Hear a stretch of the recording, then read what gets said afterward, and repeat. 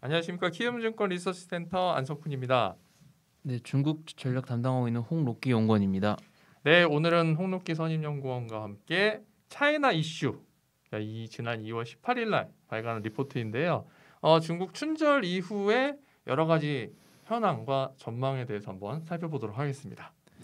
네, 중국에서는 지지난주부터 지난주 동안에 그 약 일주일에 걸쳐서 춘절이 진행이 됐고요. 네. 그 워낙 연휴가 길었던 만큼 춘절 기간 혹은 그 전으로 매크로 상황들 점검을 하면서요. 그리고 향후 중국이 단기적으로 어떤 흐름으로 나아갈지 좀 짚어보는 자료를 간단하게 전략을 했습니다. 음, 네. 제목도 그래서 이제 춘절 연휴 정상화의 시사점이라고 이제 적어놨고요. 네. 부제목으로는 내수 소비 확대 조짐들이 포착되고 있다고 얘기를 했습니다. 그러니까 중국이 경기 회복세가 견조함에도 불구하고 내수가 부진하다는 이야기를 많이들 하곤 했는데 좀 그런 부분에서도 긍정적인 조짐들이 포착이 됐기 때문에 어, 춘절의 춘절 연휴의 계절성까지 한다면은 좀 중국 증시가 단기간 더 좋지 않을까라고 생각을 했었고요. 네.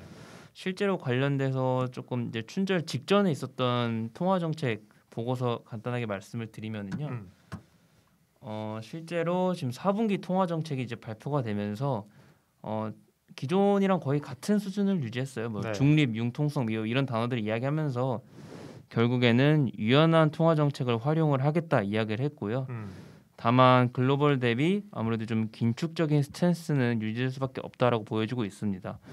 그래서 이제 뭐 신규 위안화 대출이라든지 사회융자 총액과 같은 그런 신용의 유동성 공급 지표들이 증가세가 음, 작년이랑 비교한다면 조금은 약해질 수밖에 없지 않을까 플랫하지 않을까 생각을 네, 하고 네. 있고요. 다만 최근 들어서는 중국에서는 OMO 동향을 많이 보고 있잖아요. 그 음. 공개 공개 시장 조작 음, 이제 음, 많이 보고 네. 있는데 그 실제로 그 OMO에 의해서 그 유동성이 얼만큼 유이, 회수가 되었는지 음. 공급되었는지도 중요하긴 하지만 그 금리 레벨 자체가 좀 중요하다 생각은 하고 음. 있어요. 그러니까 말씀드리려는 게 역레포 이길물 음. 일일물짜리 금리인데 실제로 중국 내에서 좀 이제 유동성이 빨아들여지면서 역레포 이길물 금리가 작년 연말에만 하더라도 0.4% 정도 수준이었는데 네. 그게 1월 말까지 3.4% 수준까지 그러니까 300bp 정도 음. 높아졌다가 지금 다시 1.5% 수준까지 다시 조금 낮아진 상태거든요. 그러니까 뭐 추세적으로는 좀 급등세가 잠잠이 됐지만 그러니까 금리 자체가 지금 위로 튈 수 있는 환경들이 지금 계속되고 있어서 음. 좀 그런 부분들이 중국 유동성의 위축 그러니까 더 나가서 이제 글로벌 유동성 긴축의 시그널로도 읽힐 수 있다라고 음, 생각을 음, 하고 있고요. 네. 어, 그렇기 때문에 좀 이제 현재 최- 최근 들어서 글로벌 위험 자산 선호 심리가 지금 팽배한데 여기서 어쨌든 좀 리스크 모니터링 지표로서는 여전히 활용도가 높다라고 생각을 하고 있습니다. 중국이 계절적으로 항상 춘절 이후에는 상승하는 경향들을 보였어요. 그러니까 네. 그게 왜냐하면은 춘절 기간 동안에는 각종 소비들이 더 활발하게 일어났었었고 또한 춘절 이후에는 항상 전인대랑 정협해서 이렇게 양회가 네. 있잖아요. 실제로 올해도 다음 주 수요일 그리고 이제 금요일부터 이제 정협 그리고 전인대 이렇게 음. 양회가 시작이 될 텐데 항상 중국은 정책 시의 성향이 좀 짙다 보니까 아무래도 여기서 이제 춘절 직후에 양회까지 있으면서 항상 조금 그 주가가 좋은 흐름들이 보였었거든요. 음, 실제로 여기도 차트에도 제가 그 계절성을 정리를 해놨는데 보시면은 이거는 다들 아시는 것처럼 코로나 효과다 네, 보니까 네. 이런 부분은 제외하고 보더라도 이게 춘절 이후부터 한 한 달간 주가 흐름인데 평균적으로 아하. 좀 우상향하는 그림들이 네, 그려지고 네. 있습니다. 이런 부분들이 아까 제가 말씀드렸던 것처럼 양회 기대감 그리고 이제 춘절 기간 동안 소비가 이제 활성화되면서 음. 이런 부분들이 이런 주가 흐름들이 나타났다 이렇게 보여지고 음. 있고요. 어, 올해도 그런 흐름들이 좀 있지 않을까 네, 생각을 네. 하고 있어요. 그러니까 올해 같은 경우도 춘절 기간 동안에 중국에서도 코로나가 재확산 우려가 있었거든요. 그렇죠. 허베이성 근처에서 네, 네. 그렇기 때문에 뭐 귀성이라든지 여행을 자제 자제할 것을 촉구한 바 음. 있어요. 그렇기 때문에 중국 내에서도 교통 운송이라든지 뭐 숙박 관련된 서비스 그러니까 그런 서비스 소비는 아무래도 조금 둔화될 수밖에 없었다라고 음, 음. 보여지고는 있지만은 전반적으로는 좀 좋았을 거다라고 보고 있어요. 실제로 좀 내수 정정화 내수 정상화가 되고 있는 조짐으로 좀 긍정적으로 본 차트들이 여러 개가 있는데 네. 그 중에 대표적으로 하나가 이제 중국 박스오피스 매출이거든요. 어, 어, 네. 그런 부분들이 이제 춘절이 워낙 그러니까 2020년 춘절 같은 경우에는 음. 아시는 것처럼 중국 거의 셧다운 상태였잖아요. 그래서 2020년을 제외하고 본다면은 2019년도 보다 대비했을 때 박스 오피스 매출이 30% 넘게 성장한 수치를 이제 기록하면서 오피스 매출이 80억 위안을 달성할 거라 보고 있고요. 네. 그런 부분들이 뭐 관람객 수용 인원들이 이제 75% 정도 제한이 되어 음. 있었다는 그런 정책들을 고려한다면은 그만큼 다양한 지역에서 이제 영화관 방문들이 이루어지지 않을까라고 음. 짐작을 하고 있고 뭐 아시는 것처럼 다들 이제 영화관 나왔다가 일반적인 외식이라든지 그렇죠. 생필품 뭐 구매할 수 먹고 있단 말이죠. 네. 그러니까 이런 일반 소비로 이어졌을 가능성이 높다 이렇게 보고 있습니다. 음. 실제로 아까 말씀드렸던 차트 부분이 이런 부분인데 지금 2020년 박스 오피스 매출 이제 80억 위안 정도 기록을 하면서 전년 대비 아, 여기서 말하는 전년 대비는 이제 2019년도보다 음, 음, 확실하게 좀 성장세를 다시 이뤄냈을 거다라고 보여지고 있고요. 음. 실제로 이런 부분들이 아까 그 그림에서도 보여주셨던 것처럼 네, 네. 어, 그거. 네, 네. 어, 실제로 지금 retail 그냥 이제 retail이나 catering 서비스 sales들이 이제 28.7% 정도 YOY로 증가했을 거라 보고 있는 음, 거고 이게 아까 말씀드렸던 그 춘절 기간 맞아요. 동안에 이제 매출 박스 오피스 매출이고 뭐 실제로 1월 1일부터 중국 박스 오피스 매출 자체는 좀 견조한 회복세를 보여주지 네, 않았나라고 이제 보여주고는 있습니다. 그러니까 8일 7일 동안 연휴 기간이었는데 80억 위안이 매출이 발생했으면 하루에 10억 이상의 아, 하- 위안이 하루에 10억씩 정도라고 보시면 될 것 같아요. 말이 10억 위안이지.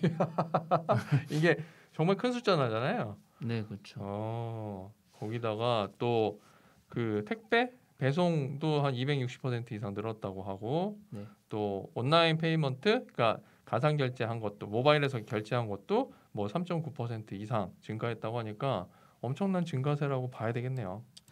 네, 특히 아까 말씀드렸던 것처럼 뭐 케이터링 서비스라든지 음, 박스 오피스 매출은 이제 post 코로 그러니까 사실 그 택배 같은 거는 코로나 시대 이후부터 꾸준히 음, 늘어나왔던 음, 음, 음. 부분들인데 박스 오피스 매출이라든지 그리고 이제 케이터링 서비스들은 좀 코로나 국면에서도 조금 성장을 보였기 때문에 음, 유의미한 이제 수치가 아니었나라 보고 있고요. 음. 실제로 좀 그런 부분들이 반영이 돼서 그 중국보다 이틀 먼저 열렸던 홍콩 시장에서도 미디어 엔터 음. 시장들이 조금 좋았던 네, 흐름들이 주가 네. 흐름들이 좋았던 흐름이 있었고요. 어 그리고 연간으로 보면은 이제 CSI 3 그러니까 본토 내에서만 좀 대형주 중심으로 본다면은 음. 그 매출 성장률 자체만 조금 스크리닝 해 보면은 좀 높은 성장률을 기록했던 기업이 두 가지 기업이 있었는데 둘 다 조금 영화와 관련된 아, 기업들이 그러네요. 있었거든요. 그러니까 사실 이게 추세적으로 본다면은 2020년이 원체 안 좋아졌다가 음. 회복되는 거기 음. 때문에 이 매출 성장률을 근거로 음. 주가 상승세가 뭐 계속될 거다라고 말씀드리는 건 아니에요. 네, 네. 근데 다만 이런 리바운드 수요가 있으면서 그만큼 관련된 기업들이 관련된 기업들 그리고 관련 업종들 중심으로 아무래도 이제 투자 심리가 좋아질 수 있다라고 보고 있는 거고요. 음. 뭐 그렇기 때문에 그 전반적인 소비 지금 화, 소비가 지금 다시 회복되는 흐름들이 보여주고 있기 음. 때문에 뭐 지금은 미디어 엔터라고만 찝어서 말씀을 드렸지만 그것뿐만이 아니라 소비 전방위적에 걸쳐서 특히 좀 경기에 민감해가지고 좀 소- 회복세가 더 늦었던 소비들 음, 음, 부분들도 더 회복세가 계속될 수 있다라고 보고 있고 뭐 그렇게 된다면은 그 중국 소비주 자체는 네. 좀 투자 심리가 계속 좋아지는 흐름이 이어질 것 같다라고 음, 음, 이제 음. 생각을 하고 있습니다. 그러니까 우리가 흔히 얘기한 흔히 엄청 많이 얘기했었잖아요. V자 회복. 아 그렇죠. 그런 V자 회복의 모양새를 이번 춘절 연휴 기간 동안에 미디어 엔터, 특히 이제 박스 오피스를 예를 들어서 확인을 할 수가 있었고 그런 측면에서 보면 충분히 향후에 중국 경제, 특히 내수 위주의 중국 경제는 어느 정도 어, 증가, 상승 기대가 가능하다. 일단 이렇게 좀 정리를 할 수 있겠네요. 네 그렇게 보고 있습니다. 알겠습니다. 자, 그럼 이제 춘절 연휴 이후에 지금 오늘 저희가 녹음하는 게 2월 22일 월요일인데요. 오늘은 근데 또 약간 주가가 주춤하는 모습을 보여서 또 이건 뭐 얘기는 상승한다는데 뭐 또 월요일부터 빠지니까 이건 또 뭐야라고 하실 분들이 있을 텐데 요것도 너무 단기적으로 보면 안 되니까 뭐 어떻게 좀 접근을 하면 될까 한, 한 말씀 해주시죠. 그러니까 맨 처음에 말씀드렸던 걸로 음, 돌아가서 지금 중국이 어쨌든 오히려 경기가 회복이 될 때마다 음. 오히려 정책 정상화로 조금 약간 초점이 맞춰지면서 그런 부분들이 가끔은 이제 부양책 약화로 이제 해석이 되면서 네. 투자 심리가 위축되는 경향도 있긴 있었거든요. 다만 어쨌든 지금 추세적으로 본다면은 중국이 내수 부분들이 좋아질 수 있다라고 네. 계속 말씀을 드렸었고 특히 다음 주에는 또 이제 전인대가 이제 열리기 때문에 그때 기점으로 그 14차 5개년 계획에서 중국이 강조했던 두 가지 과제가 음, 그 쌍순환 맞다. 전략이라고 해서 네네. 내수 이야기 한번 했었었고 그렇죠. 그리고 이제 첨단 산업 내재화 이런 부분에 어. 대해 거기서 얘기했거든요. 네. 이제 결국에 신형 인프라 뭐 AI, 5G 뭐 음, 등등이 음. 있는데 뭐 이런 부분들이 다 좋아질 수는 없겠죠. 음. 다만 어쨌든 정책들이 더 한번 다시 한번 강조될 수 있는 시기라고 보여지고 있고 그렇게 된다면은 좀 정책 모멘텀 받아서 관련된 업종들 충분히 투자 심리가 될 수 있다라고 보고 있고 음. 뭐 실제로 중국이 춘절 직전에도 원자 많이 올랐었기 때문에 음. 좀 그런 부분들이 있지만 어쨌든 제가 말씀드렸던 전체적인 증시는 좀 속도가 슬로워질 수 있지만 뭐 내수라든지 그렇게 어 중국 정책들이 조금 강화되고 음. 있는 확실하니까? 네, 그런 부분들은 확실히 좋을 수밖에 없다고 음, 보고 음, 있습니다. 알겠습니다. 그리고 참 제가 개인적으로 궁금했던 게 뭐냐면 양회가 네. 일정이 이게 항상 미리 확정이 돼서 나오나요? 어, 안 미리- 그런 것 같아서 미리가 어느 정도 미리 한 뭐 그러니까 예를 들면 미국에서 뭔가 뭐 이벤트나 이런 게 있으면 정시 뭐 행사 뭐 행사라면 좀 그렇고 뭐 경제적인 이벤트나 이런 게 있으면 미리 사전에 이렇게 어느 정도 정해져 있고 매 매해 그때쯤 이제 거의 비슷한 날짜에 열리니까 뭐뭐 10월에 세 번째 수요일 뭐 화요일 이렇게 정해져 있는데 그런데 중국도 중국은- 전인대는 항상 3월 초에 무조건 아 열렸- 3월 초 네, 그러니까 작년 같은 경우는 특수한 케이스고 음. 항상 3월 초에 열렸으니까 뭐, 뭐 구체적인 날짜가 매우 미리 발표되는 건 아니지만 네. 항상 3월 거의 첫째 주라고 생각을 하시면 되니까 음. 네. 그리고 PMI도 사실 그 주 어떤 주에 나오는데 그 날짜가 좀 제가 봤을 때는 잘 몰라서 왔다 갔다 하는 것 같아서 PMI가 평균적으로 그러니까 음. 평균적으로 말씀드리면은 관영 PMI는 주로 지- 전월의 마지막 31일이나 30일 음. 아니면은 1일에 그러니까 그 해당 아, 해당 월 1일에 많이 해월 1일에? 발표가 되고 음. 이제 차이신 PMI는 그 다음 날이나 이제 그 다음 아, 날에 반영이 발표되는- 나오고 나서 네, 차이신이? 네, 네. 음, 알겠습니다. 그리고 저희가 지금 이렇게 또 레포트를 소개해드렸는데 레포트를 다운로드 받아서 직접 보실 수가 있습니다. 그걸 좀 알려드리겠어요.